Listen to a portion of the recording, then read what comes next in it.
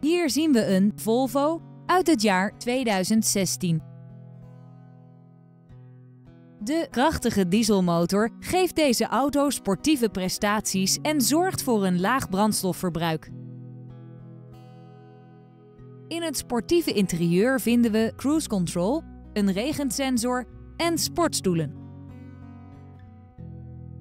Deze auto is daarbij voorzien van een start-stop systeem en metallic lak. Omdat deze auto valt onder het Volvo Select Occasion label, kunt u er verzekerd van zijn dat deze grondig is gecontroleerd. Hebt u interesse in deze auto? Neem nu contact met ons op en we zetten hem klaar voor een proefrit.